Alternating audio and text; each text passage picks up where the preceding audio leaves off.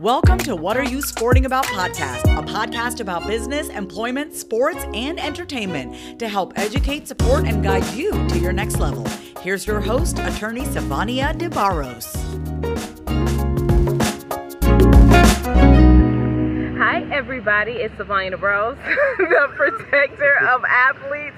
And you will have to forgive me today because I am recording live from Cancun Beach with my husband, Eduardo DeBarros. DJ Hello. So, today I want to talk to you about mindset. And I know that a lot of you have probably been seeing my posts that talk about mindset in one way or another. So, here's one thing I want you to think about. And I'm not going to quote this verbatim, but there's a doctor named Dr. Dweck who wrote a book and she talks about mindset in there she also described that there are two types of mindset. There is fixed mindset and there is a growth mindset. And one of the things that i love about a particular quote that she was quoted saying was that when you walk into mindset you enter a new world. And basically those who are dealing with a fixed mindset they are more worried about trying to prove they belong in a space whereas those who enter a world of a growth mindset they are more worried about developing their own lane, right? So that's not verbatim, but that's what I took away from it. So the things that I want you to be cognizant of is if you find yourself just trying to find a seat at someone else's table, trying to prove that you belong, then you may be operating from a fixed mindset standpoint. If you are the type of person that wants to develop and grow and understand why things happen the way they happen, for instance, if you fail at something. Why did it why did you fail right? Because each time that you learn something new you are developing. And that growth helps you to be able to move and develop into something greater than what your current circumstances are. So i am going to ask eduardo george some little small trivia questions around athletes and whether they are or have operated in a fixed mindset or a growth mindset. Are you ready? Yeah. Are you ready? I'm ready. I can't hear you. I'm ready. Allison Felix. Growth fix. Growth. Michael Phelps. Come on. Fixed. Why you say fixed? Because he's always um, trying to. Uh, he's, he's, I haven't seen anything as far as him developing his own company or anything like that. But do you think you have to develop a company well, to be? I don't think that. To think that you have to move past who you are as an athlete. Um, Felix has designed her own company and moved forward, even when Nike didn't want to sponsor her or believed in her because she has a kid. Yeah, but I Michael- think Michael Phelps, he um he he develops off of his athletic brands around mental health. You don't think that's growth? Well, yeah, I would, yeah, I would say that's growth, but I think his route was little easier. Why do you think it was easier? he was able to just say, you know, I do, I do, you know, smoke marijuana and I do this and this is how much, even, and not get penalized for that. If it was someone else, I believe they would have got penalized, but Okay, well Colin Kaepernick, growth fix. growth, Muhammad Ali, growth. uh, Laila Ali. Laila Ali? Uh, she's growth, but I mean, she is living off her father's name a little bit. I would- But Yeah, but I it's different. She just she did become a champion, and then she did um, continue growing past her professional career. Yeah. Yeah, and I feel like she's creating a, her own lane. Um, Yeah. you know, she's Yeah. anchoring shows or hosting shows Right. and things like that. Yeah. Yeah. She is. Um. She like you said, she's doing shows now, so it's not like she just did one thing, and that's like if you look at um, Frazier's uh, Mhm. daughter, all she did was boxing, and that was it. She kind of she kind of lived off her father's uh, fame, and never really did anything after that. Where Ali, she didn't just stop at boxing; she just kept continue to grow her own name and, and, and her likeness and, Yeah. and you know, that to make um, keep growing, you know, Yeah. as an athlete.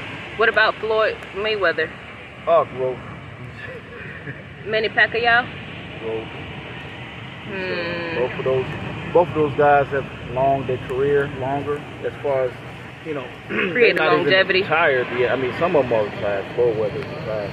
Pacquiao still boxing, but at the same time, he still um, still goes back to the Philippines and gets gets uh, you know goes into. Uh, not the government, not the government, but being a He, senator. he and puts into that- his yeah. community. Right. And Floyd Mayweather, even though a lot of people believe he's selfish, it's always about himself.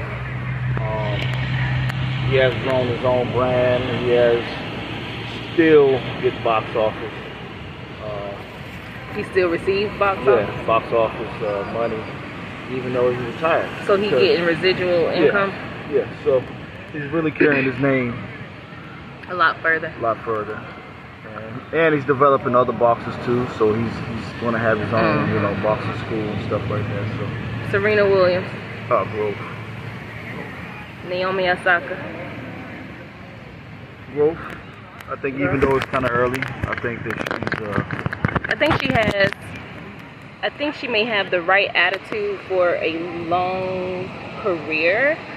Um, but I would I would say for her right now, I think she would kind of be mixed Yeah. because I think she's just so young that she's trying to she's trying to find her own lane. You and know what I'm think, saying? And I think that the, some of the pressure has gotten. Yeah, to gotten to her. But I do And- see her as, as a person that's gonna definitely be a major player of creating so many different lanes where she can, you know, give back Yeah, because. I think that when you're a mixed, you know, because she's Japanese. no, no, no. I ain't talking about mixed. That No, no, was no, my, no, no. I know, Oh, I know okay. you're talking, but I'm just saying when so many people are trying to identify it from one to another, as you know, the black community or the Japanese community, why you can't be both? You know, don't have. You Oh, don't, you don't saying. lose your Japanese card because they, they, they think you know you're the first black American or or you Oh, don't lose your black people Japanese. than just American.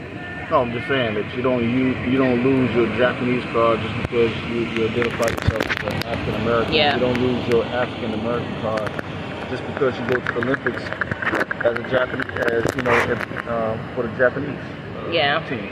So I think a lot of pressure piled up on her, but I think she handled it pretty well.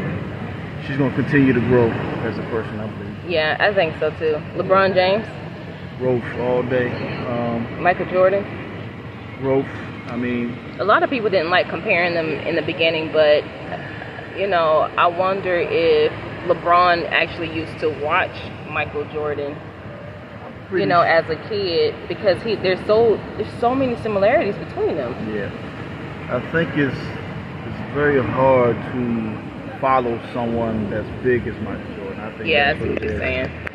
And everything is, oh, you're trying to be like Michael. Oh, yeah. Oh, you're trying to be. I think he made his own name. Yeah. You know, it ain't no. But you know, but what's the harm in wanting to be like someone No, who has no. been created success that is so far away from what people even have the resources to dream about, right? Because it, it, there's already a, a issue in the black community where Right. you don't have the representation that you need to even Right. think that you can dream to do and be all of these things. So what is the harm in that? Right. Yeah, I, I don't think there's any harm in that. I think that the comparison with those two are always on the uh, Forefront. on the on the ba- on the basketball. Oh, okay. Gotcha. how many championships you had, and how many, you know, uh, how much, how many, what, what's your next shoe coming out, and you know, Mhm. all the scoring titles and the championships and the, um, you know, rebound titles. I mean, it just it's all stats. Yeah. That I think they're two comparing them, but they are very two successful People. people, Yeah. and it's very hard to follow someone that's been that big I know. For a long time too. and it's hard to make your own brand, you know, that Yeah. people can follow. So yeah. I think that there's nothing wrong with having a role model like both of them Yeah. to be like. What about Chris Paul? Chris Paul, um, me personally, I'm not a big fan of Chris Paul. Why not? I don't know. He's just Well, fixed growth. Well, regardless of whether you a fan or not. Yeah, I'm not a. I mean, what I'm saying is that some of the things that he's done, even even being a president of the uh, Players Association. yeah Players Association, he's he's more on the owner side, but he is grown because you don't just become a president out of nowhere. Right. You know, you gotta really You have want to set the example. You gotta really want to be somewhere. Yeah. And you know, when when people's career goes down at 36, he's he's actually went up. So Mhm. He's he's keeping it. He's keep growing and he keeps growing bigger. And when you have a lot of different resources, you can create your own. you Yeah. know, and it's difficult when you don't have. Yeah, and I think that's the importance of this conversation, though, because when we're looking at athletes, you are given a resource, right? I mean, of course, just like any other business, there are liabilities that you have to plan for, but you are making more money than you probably have will, will have ever seen anybody make in one year, you know, or in you know Yeah. two three years and so that that is a resource but if you operate from a fixed standpoint you'll go back home broke Yeah. you know the same way some other people are because you're so worried about trying to show people or prove something to somebody versus saying you know what let me take this little this little nest egg that i've been given and let me go and plant this somewhere so i can grow something for the future Yeah. Like you don't have to have. like what's homeboy name that was driving the toyota to to practice camps and Uh, everybody was laughing at him Um, he played for the Washington Redskins back in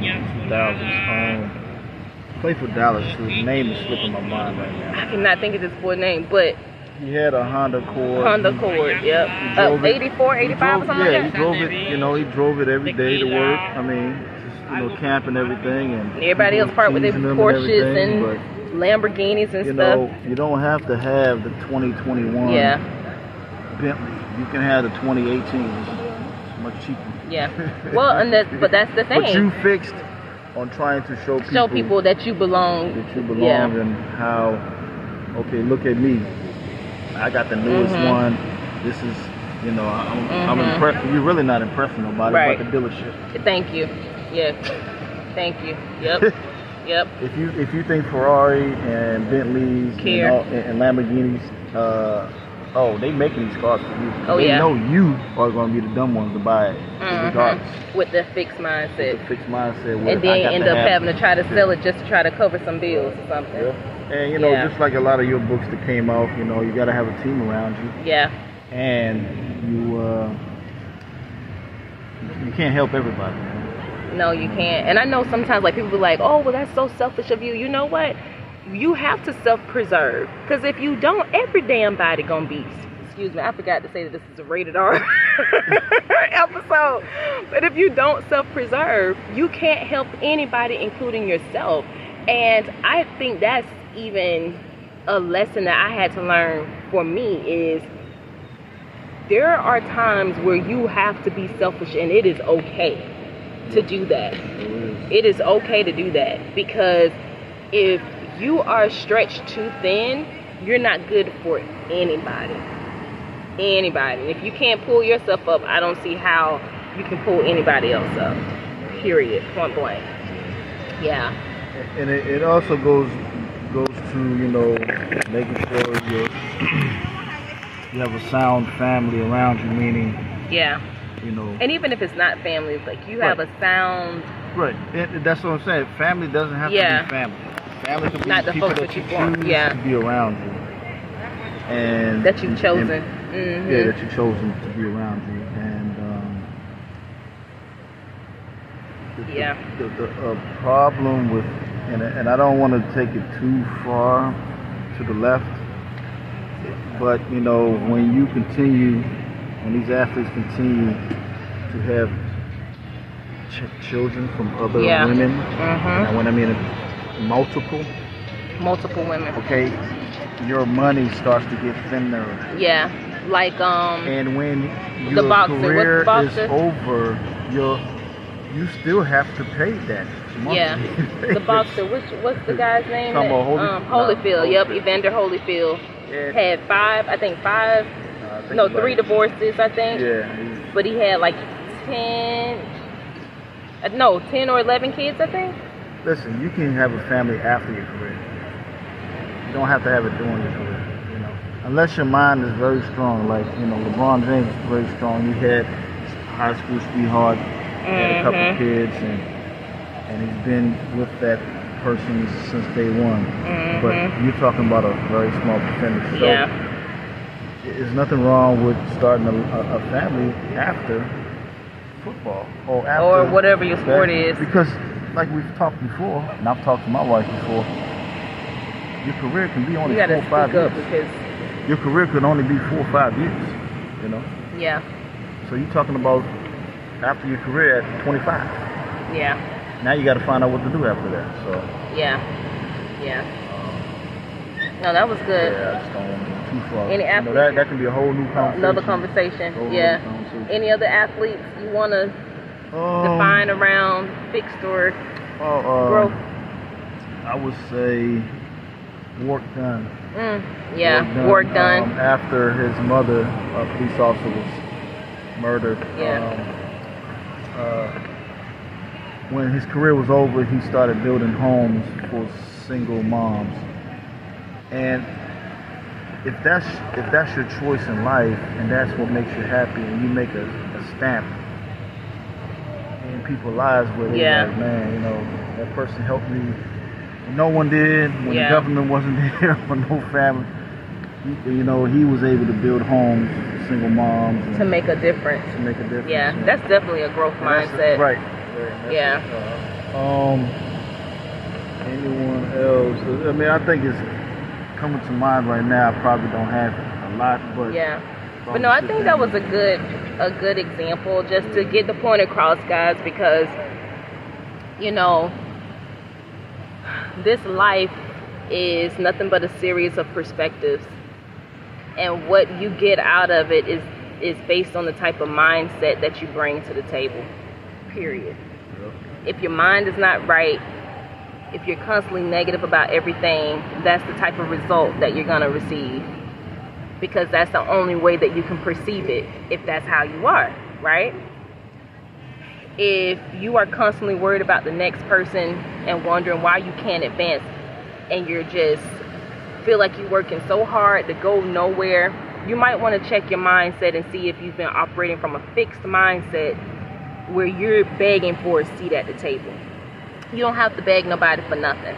Because if you're doing something authentic, it's from the heart, and you truly want to make a difference, you're if you're operating truly in a growth mindset, you're going to make a difference. Because people with growth mindset, they just find a way to do it, to get it accomplished. Look at me. No one helped me to write these books that I've written. What are you sporting about? And recently, athletes making moves. But it was something burning up inside of me, knowing that I wanted to help someone. I wanted to make sure that people had a clear roadmap on how to define their own success and how to protect themselves. That's a growth mindset, and it's going to continue. You're going to continue to need that type of mindset um, to take you further into the future where you say that you want to be, right? And even then, there's going to be you're going to have to continue building. You're going to have to continue building. So anyway, I'm going to sign off. This is Sivonnia DeBarros, the protector of athletes, coming to you live from Cancun, Mexico. Here with my special guest, my husband Eduardo DeBarros. pineapple. What's coconut? That's it. Pineapple. Brain is fried. so, guys, until next time, I'll check you later. Ciao. Peace.